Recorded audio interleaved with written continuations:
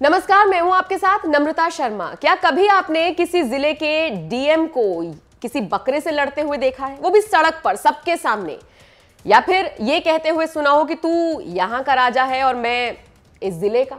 शायद ये मामला आपके लिए थोड़ा सा हैरान कर देने वाला होगा, लेकिन ये सामने निकल कर आया है यूपी के कानपुर देहात ज़िले से, जहाँ के जिला अधिकारी दिनेश चंद्र और वहाँ के एसपी केशव कुमार का एक वीडियो वायरल हो रहा है और इस वीडियो में कुछ इस तरीके की बातें ही डीएम करते हुए नज़र आ रही हैं। हालाँकि ये जो पूरा वीडियो है, इसके पीछे की जो पूरी कहानी है, वो हम आपको बताते हैं। दरअसल, भ्रमण करने के लिए निकले थे जिलाधिकारी और एसपी और एक जगह पर ये लोग पहुँचे। एक गाँव था सिकंदरा तहसील बताया जा रहा है कि ये लोग यहाँ पर एक तरीके से निरीक्षण करने के लिए पहुँचे कि सब कुछ ठीक ठाक है, जो व्यवस्था है, वो सुचारू रूप से चल रही है या नहीं?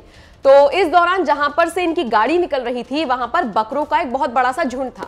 डीएम साहब ने अपनी वहाँ पर गाड़ी रुकवा दी और उतर गए। और फिर जो इस झुंड का जो मालिक था, जो चरवाहा था, उसके पास ऐसे ही घूमते घूमते चले गए तफरीबाजी में और कहने लगे कि तुम्हें पता है, यहाँ पर एक वक्त पर डकैतों का बहुत राज हुआ करता था। और अब जब से योगी आदित्यनाथ सीएम बने हैं, देखो किस तरीके से तुम लोग सिर उठाकर चल रहे हो, कोई लूट डकैती नहीं हो रही है और किस तरीके से अपराधों पर लगाम लगी है। तो इस तरह से कुछ बात करते हुए चरवाहे के साथ नज़र आए जो डीएम साहब थे। लेकिन इसी बीच एक बड़ा मोटा ताज़ा सा बकरा था जिस पर डीएम साहब का ध्यान गया। और डीएम साहब ने कहा कि भाई, ये बकरा बड़ा इन सबके बीच में से अलग ही चमक रहा है।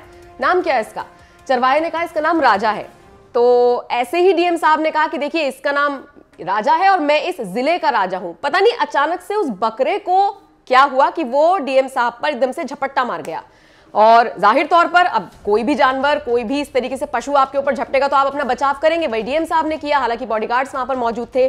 उन्होंने उस बकरे से उनको बचाने की कोशिश की। तो वो जो वीडियो है पूरा, वो वहाँ पर मौजूद एक सिपाही ने बना लिया और वो वायरल हो रहा है और उसमें डीएम साहब कहते हुए नज़र आ रहे हैं। दोनों सींग उन्होंने बकरे के पकड़े हुए हैं और कह रहे हैं तू यहाँ का राजा है और मैं ज़िले का राजा हूँ। तो इस तरह से बड़े फनी वे में ये वीडियो को वायरल किया जा रहा है और इसे काफ़ी पसंद भी किया जा रहा है। आप बताइए, ये जो अवतार नज़र आया है डीएम साहब का इस तरीके से सड़क पर इसको लेकर आप क्या सोचते हैं और इस पूरी खबर को लेकर आपकी राय क्या है? कमेंट करके हमें ज़रूर बताइएगा।